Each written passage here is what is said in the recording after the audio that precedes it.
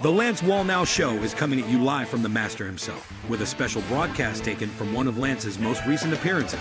Tune in and get ready for some major revelation. So let me uh, let me say this. You know, Andrew and I. Interesting. If you study convergence, which is what I'd love to talk about, and I think I'm going to probably get this course somehow in uh, to Charis. Is I coach Christians to go become peak performers in the domain that God assigned to them. Let me say to a lot of you out there, something I've noticed about a lot of my tribe here that, that overlaps so well with wealth builders and with charity, to engage this world and this world system. We have become infatuated with Jesus. We love God. And we want, with all our heart and soul, to be able to go into that direction. I myself, you may think, you know, that, that I'm a smart person because I'll use words now and then that, that'll impress people, but the reality forming student with a learning disability and I was flunking out of every school I was ever in. And when I got saved, I found out in James that if any man lacks wisdom, now if you've been mocked your whole life for being stupid, you can't graduate. My father's a lawyer and an engineer. Two brothers of mine are professors. I'm just really stupid. And uh, when I found out in the book of James that you could pray for wisdom, I mean, that's like giving a desperate man, you know, it's like, it's like some emaciated guy with no, no body, you know, suddenly he can look like Captain America. I, my biggest desire was I pray to God with concepts and ideas and communication is because God gave me an answer to that prayer. He gave me wisdom. And I'm, I'm saying that. Now, you could say, now, if it's a healing gift, people can see it. And if it's, uh, you know, prosperity, people can see it. But somehow people feel awkward about saying, oh, yeah, God gave me wisdom. But it's true. And I know that because of the stupid things I can do when I'm not operating in wisdom. I can't, ask my wife about that. I can't find a car in a parking lot. But I could tell you how to do what God called you to do and do it with accuracy. I can tell you how to build a business. I can tell you how to get elected. And what Andrew is in our field of what we call leadership emergence theory. This is a theory that I taught in a master. I actually teach it in college and university. Taught at a master's degree class uh, with Bobby Clinton, who is a student of Fuller Theological Seminary, who studied this, this concept, which I want to just drop on you real quick, because it's, it's probably, I don't know if it's going to be, a, it's probably a third year concept for Charis, but it probably could be in the first year. And it's that convergence theory says that God designed you with certain gifts, talents, and abilities so that you have an assignment or a calling that matches your design. And in the area where you lack, such as me, intellectual capacity, you can see God, and God will augment your natural capacity with a supernatural acumen to complement you so that even though you may seem in the natural like you can't do it, God will give you by grace the ability to do what you cannot do. Your gifts, talents, and abilities, plus the supernatural enablement of God, produces a, a, capacity for convergence. Convergence is when you're doing the thing God created you to do. And the research that Bobby Clinton had, 20% of the body of Christ actually gets into convergence. That's 20%, not of mankind, but 20% of Christians seeking to fulfill their destiny. 80% don't get there, 20% do. And he based that on the fact that he interviewed people that were peak performers in their assigned field to see whether or not they felt they were doing what God had called them to do. And, or he just interviewed, you know, basically he had Fuller Theological Seminary, so he had a large cadre of people. He observed Rick Warren in pastoring, John Maxwell in leadership development. All these people were students that Clinton was a student with, and he was studying leadership emergence theory. I'm saying that because Andrew Wommack is what you call a stylized practitioner. That means it's one of a kind that doesn't come off the mold of somebody else's printing press. They created their own unique brand identity. Stylized practitioner. But what you are is what you attract.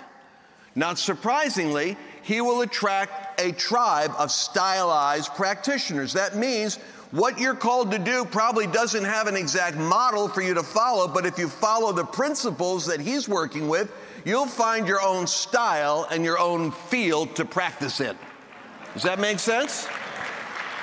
Now, I know that because I'm a stylized practitioner. Nobody in any of the revival circles I was in ever wanted, ever, ever, I was never invited to the party. I always felt like an odd duck.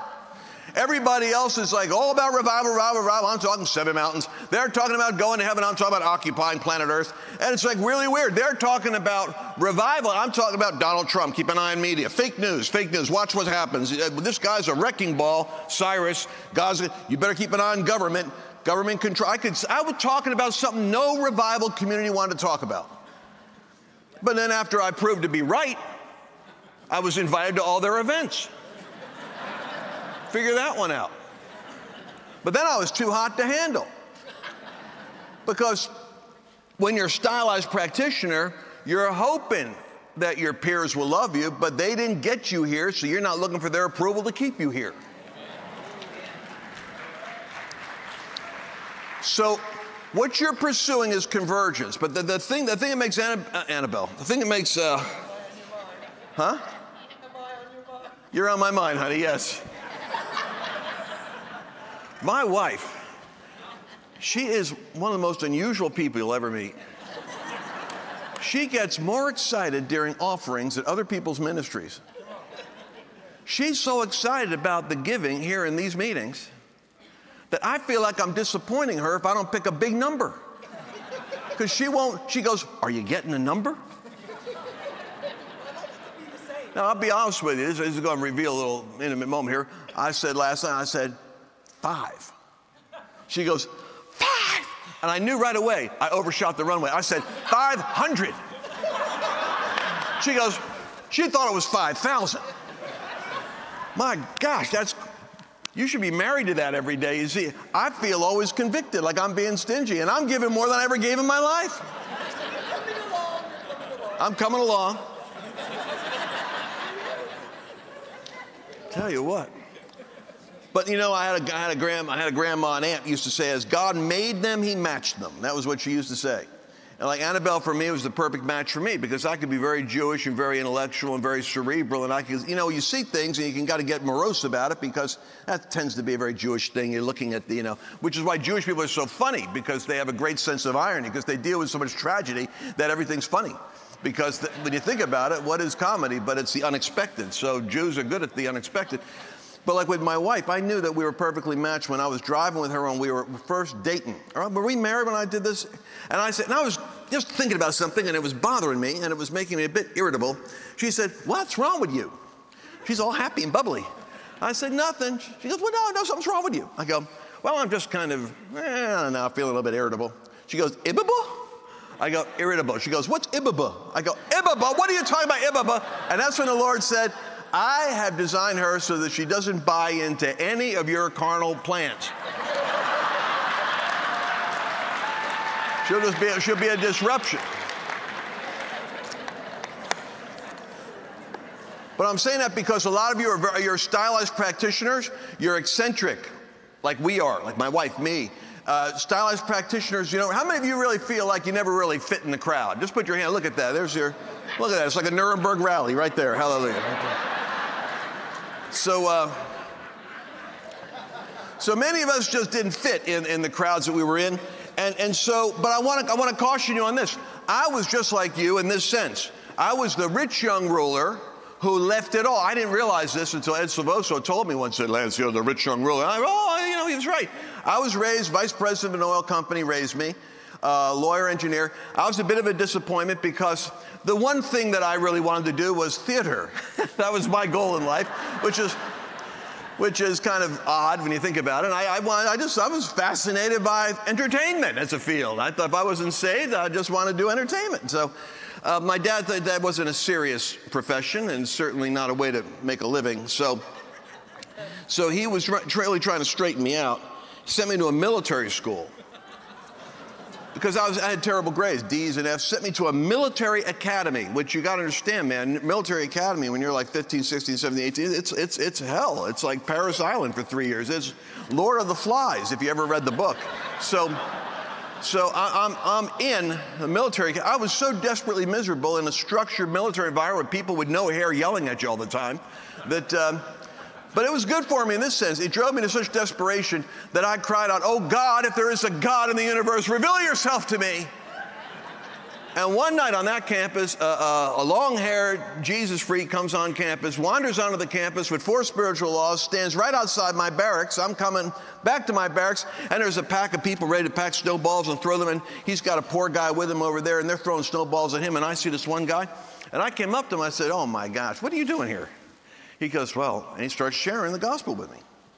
I thought, what a loser. If I had long hair and jeans, I'd be out there partying with girls. I wouldn't be stuck on this island over here where I'm at. You're actually coming here in your free time. I'm trying to get out of here.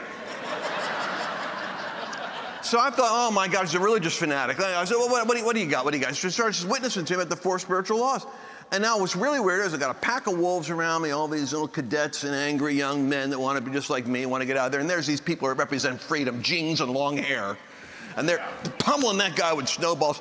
And this guy's talking to me. I thought, you guys see this is getting out of hand here. I'm really, for your sake, you ought to leave. And the guy goes, no, no, well, um, he goes, no, I, would rather talk to you. And at that moment, out of the second story window of Frank Fiermonte's room, I can still remember it, uh, the most demonized cadets we had somehow gathered. It was like all the demons were showing up and they had a window and they took a, a, garbage can full of water and dumped it out and it hit the guy evangelizing me. And I jumped back like this. Now he's soaking wet, standing there in the middle of freezing cold uh, Valley Forge, Pennsylvania, where George Washington, you know, barracks in the freezing cold snow. That was where our military academy was. He's soaking wet in Valley Forge Military Academy campus. There's snow, like, you know, several inches deep. And he looks at me with absolute equanimity, poise, and says, This uh, message has resulted in the martyrdom, the drowning, the crucifying, the burning alive of witnesses for 2,000 years. I'm willing to talk to you if you're willing to listen.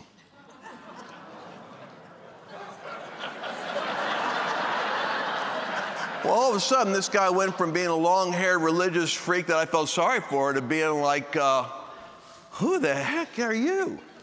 I mean, I'm in a military academy where they teach leadership. That guy had more courage, conviction, character, and leadership in his long haired gene condition than I had.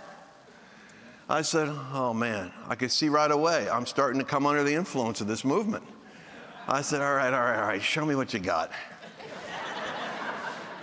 He shows me, and then he says to me these words. He shows me the, you know, decision I have to make about accepting Jesus. I look up at him, I go, I look at the crowd there packing balls, snowballs, going, What's the wall now? What's he doing? I go, You want me to pray with you? He goes, Yeah. I go, Here? He goes, Yeah. In front of them? He goes, Yes. And at that moment, and it took that moment, I realized I wasn't a Christian. Because a lot of people think they're Christians and aren't Christians. I mean, how do you know you're not a Christian until you actually get convicted? People grow up in America. I know I wasn't a Hindu or a Buddhist. So I figured I'm a Christian. My dad was Jewish and raised me as an Episcopalian. That's confusing right there.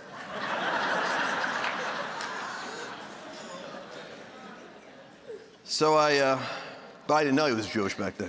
So I said, okay. So I prayed haltingly, not courageously, but I prayed enough with enough courage that the grace of God met me and I got born again then. Now, how I know I got born again is thank God I got I, I had an experience. You don't have to have an experience because you get saved by faith, but thank God I had an experience because something came into me, right into here, boom, and reverberated all throughout my whole body. And I stepped back like that. And I blinked and I looked at him and I go, what was that? He said, Jesus just came into your heart. I said, Oh my gosh, I thought it was like a poetry thing, like you come in, like God's in my heart, my mother's in my heart, Jesus in my heart. He actually came into me. He said, Yes, that's exactly what happens. You got born again. I go, This is crazy, man. I didn't expect an experience. So the poor other guy's getting whacked with snowballs, and I said, "Look, you don't understand this. I mean, it's, it's, it's. Uh, I'm concerned about you guys." And at that moment, the military police came.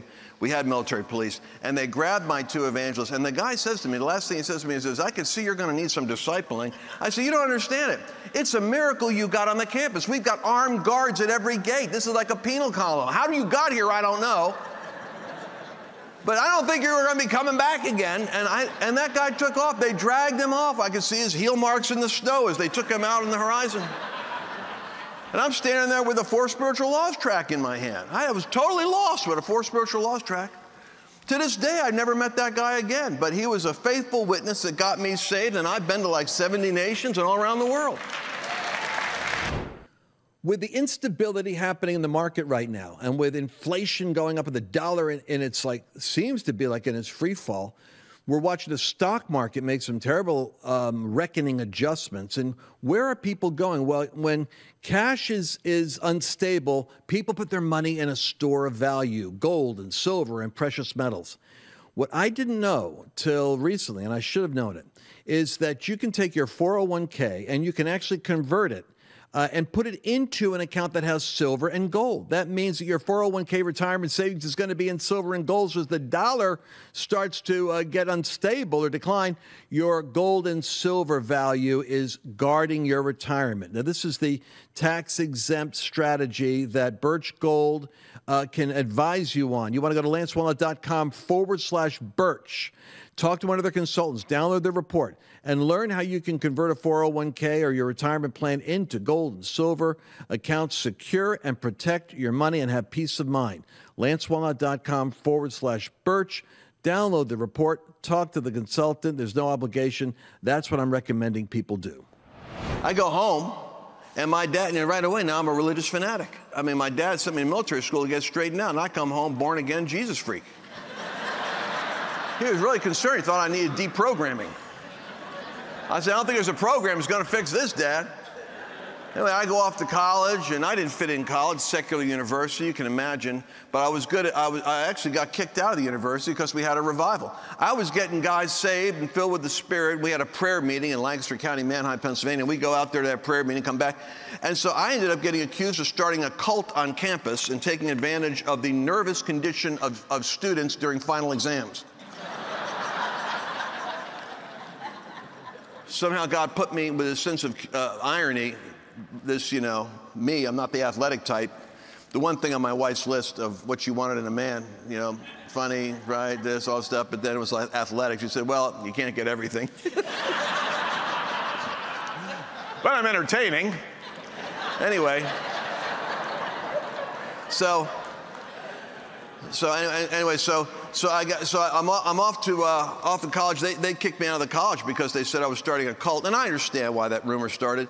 I had a military uh, uniform. I, I, one of the really cool pieces of attire in a military school is the is the raincoat. I don't know if you remember what these look like, but like West Point has them.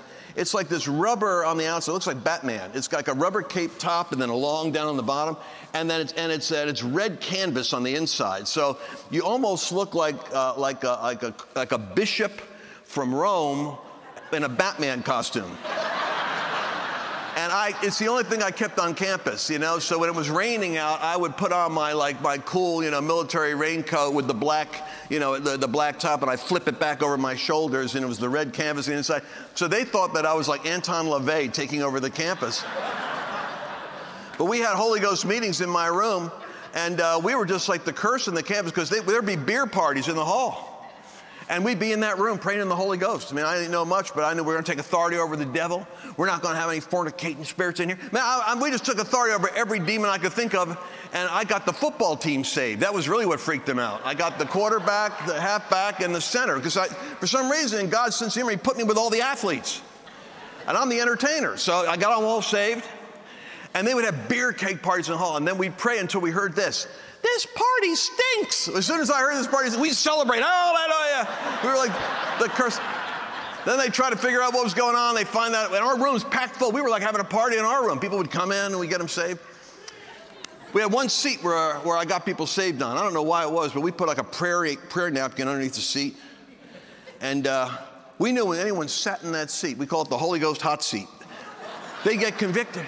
They'd come in checking us out, checking out the cult movement. And, you know, and then the center, you know, would be praying, and his name was Mongo, uh, based on Blazing Saddles or something like that. But these guys were uh, J- Joe Beasley, who was backslid from Pittsburgh. Now, Niels Forsberg, he was like the star athlete on the football team. We got him saved. He thought I was a drug runner. Because I'd go to these Holy Ghost meetings and off the campus, these prayer meetings, and I'd come back with my Bible.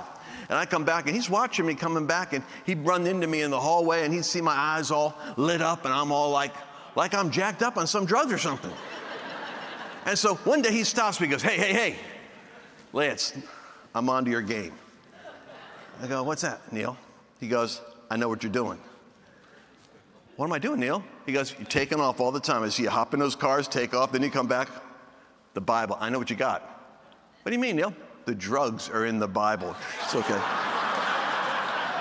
I won't tell a soul. Because he was, he was a dealer on the campus. He thought I was his competition. I go, No, Neil. I, by the way, I met him at one of Charis event. He came to a Charis event. so he comes up, he goes, It's true, isn't it? I go, No, Neil. I mean, I, I'm going to a Bible study and prayer meeting. He goes, Right, right. Okay, it's cool. Let me see the Bible. I hand him the Bible. He was like befuddled, you know? Pages. He's looking through it like, where's the compartment? It's like, you know, line upon line, precept upon precept.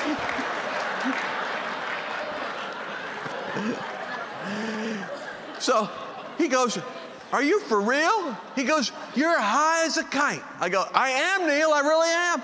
It's the Holy Ghost. Holy what? I said, Come on into my room. Get him saved, get him filled with the Spirit. No, it was no wonder I became a target on campus. I was getting all the celebrities saved.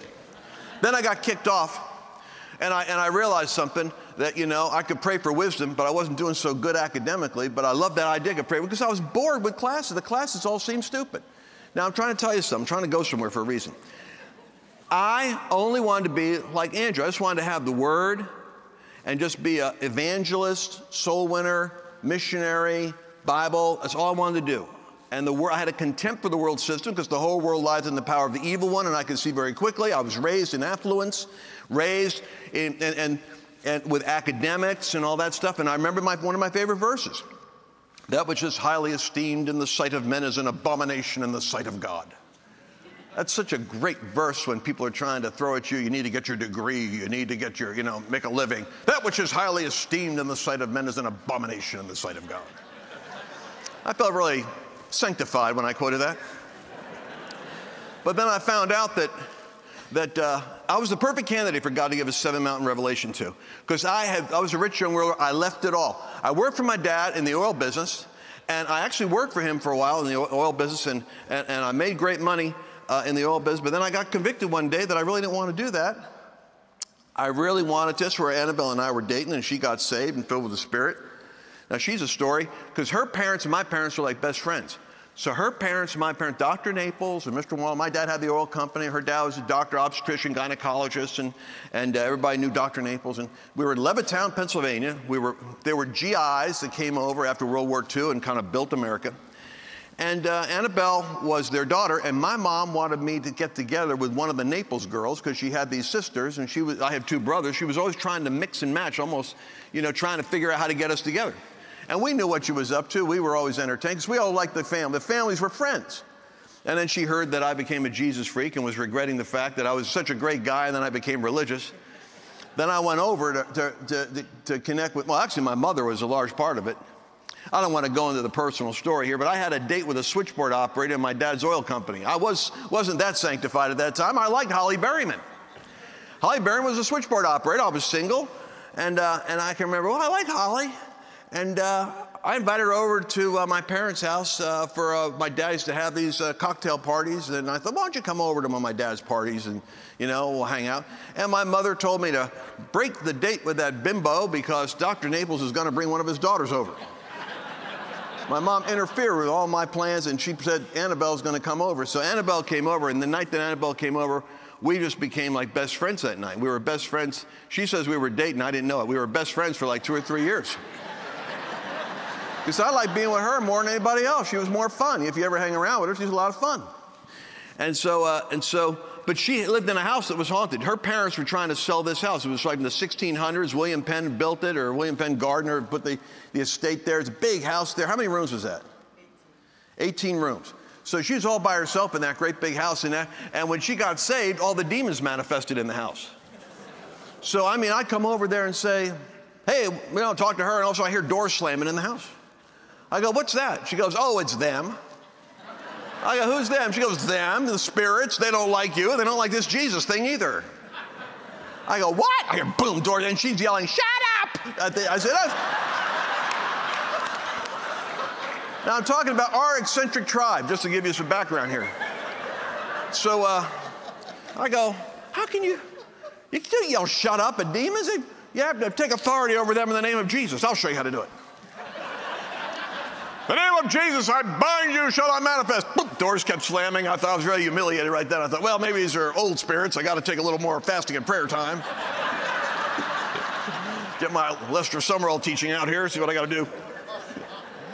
Anyway, so I had an old Pentecostal, cranky old Pentecostal pastor that I loved, who was my first first pastor, and he was kind of tough. He was like he was like a, a, Marine. He was he was always he was he was the right kind of guy to have as my first pastor. He couldn't pastor a big church. He only had seven people, but I was one of them.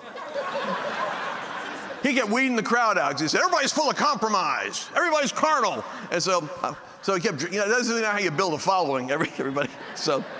He'd always tell me, you know what you got to be? You're to be one of those country club Christians. That's what you're to be. Okay, no, I'm not to be a country club. I was trying to be like a real Marine back then.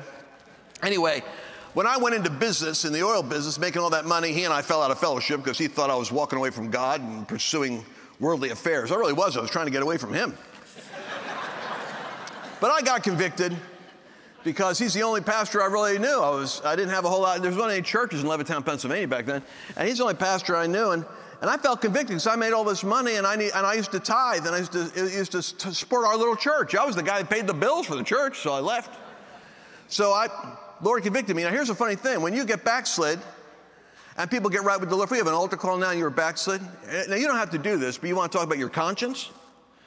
I was backslid for like about a year. I really was. It was like I wasn't going to church. I was just buried myself in business and got into work. And I didn't know, because I, I, had all that legalism. So everywhere I went, I was poisoned. They were all compromised. So you, I got cut myself off from healthy fellowship with other Christians because I was always critical. Nobody was ever dedicated, pure, and holy enough, including me. So I turned on myself.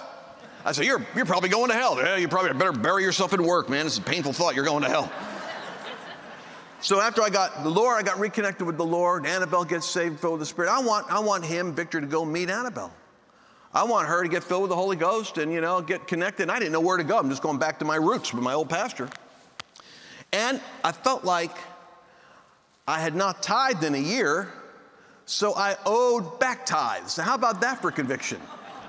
It's like the Lord said, Well, you were, you were, you were walking away for a whole year, weren't you? I said, Yes, sir He said, but uh, you weren't even giving for a whole year, were you? I said, no, sir. The Lord said, well, what are we going to do about that? now, you know you're hearing God when God tells you to pay your back tithe.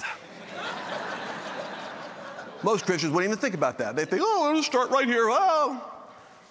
My Jewish forefathers came back in my DNA and they said, you owe the Lord something.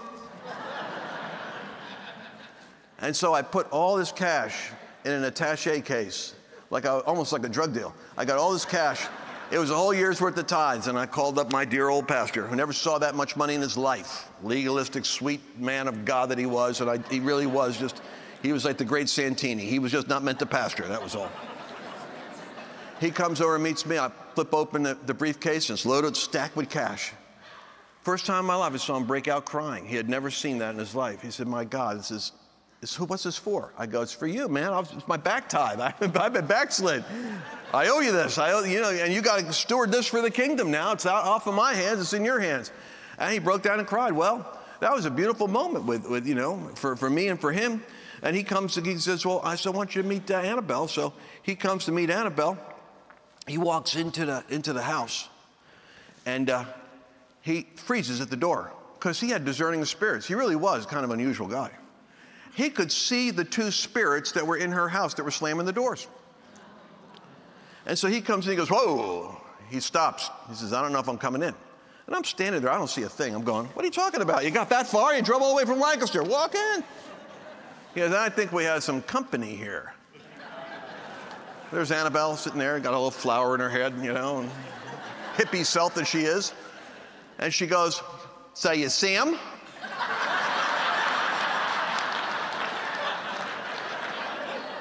I don't know what they're talking about. I go, see what? He goes, yeah, I see him. And Annabelle's checking him out. She goes, oh yeah? He's chewing gum. What do they look like? he goes, Well, one of them looks like uh, Abe Lincoln there with a top hat, and the other one looks like it's shaped like a Christmas tree with a little pinhead. She goes, Yep, that's them. I don't know what either of them are talking about. I can't see them. I don't know what you're talking about. All I know is he sees them. She goes, Yeah, that's them. Because she, her family, they're it's familiar spirits. This is weird. All her family's these professors, Princeton professors, Rutgers professors, Philadelphia colleges. They're all a bunch of professors. Yeah, they, they saw those spirits in that house. They, I don't know how they, how they reconcile that now with being, you know, intellectual, but their spirit, they knew what they looked like in their family. They'd show up, like the grandmother talked to them. So, uh, anyway, we ended up having to, having to get rid of those spirits. You want to know how we did it? Ever have Alexander Scourby? I, I had the Bible, the Bible on tape. And since uh, we wouldn't get those, I couldn't get those spirits to shut up, I, would to, I told them, I said, I'm going to marinate you night and day with the Word of God. this is crazy, huh? I put Alexander Scourby sucking down the law, and he talks like this, and he would do narrating the New Testament in a perfect British accent. And Jesus went to the land of Sidon and crossed over into Gennesaret. And there he was met by two fierce demons. And so I put it on, and it was one of those reversible cassette players, so it just played 24 hours a day. And Annabelle and I go to work, we marinate that house with Alexander Scourby and the King James Version of the Bible for 24 hours a day. We change the tape every day just to give them a little variety on the scripture. Want to make sure they had the whole counsel of God. Do you want to know what happened? Huh? Took seven days. By the seventh day, not a peep. I said, Hello? Hello, hello? They were like, Shut up, don't say a thing. So we stopped marinating them with the Word of God, and then we ended up having to sell that, sell that place. But when you start off like that, there's no such thing as a normal life. That's my point.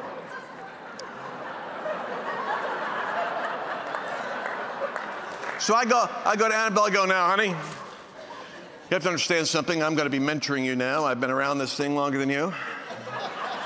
I'm going to teach you a few things.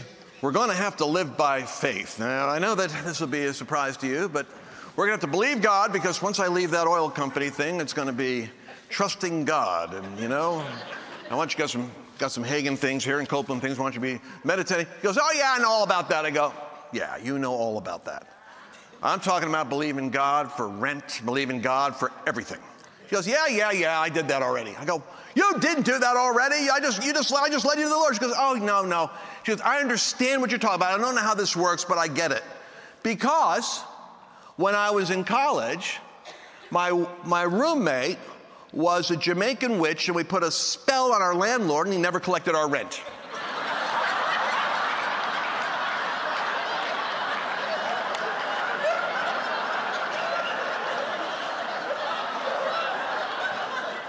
So, wait a second.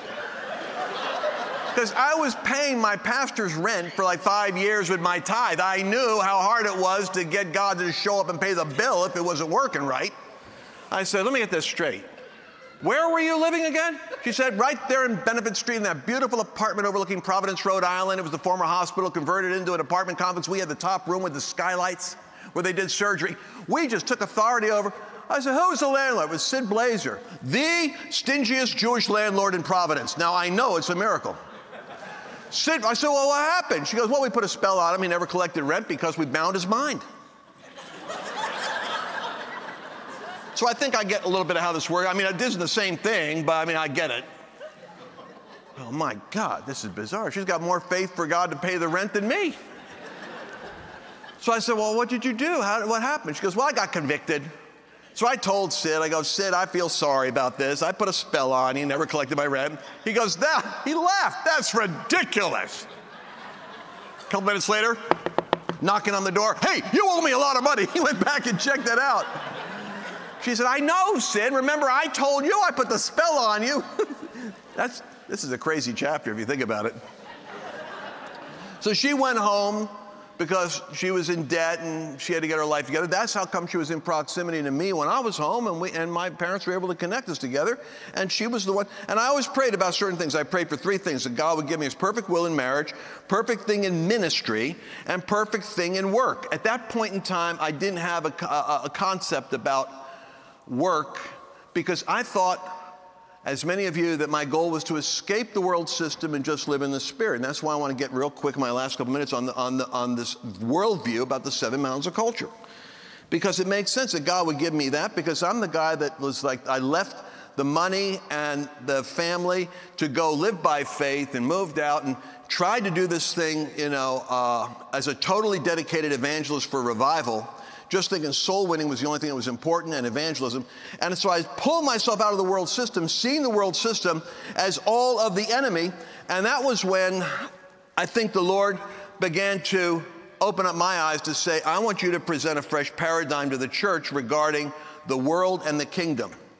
Because too many of my people are disengaged from the occupation. I mean, you're just looking for the call of God, and if the devil can convince you that God doesn't want you in business, God doesn't want you in media, God doesn't want you in arts, if you see it all as the world system and you're trying to escape it, you're never going to go into it. Did you enjoy this latest episode?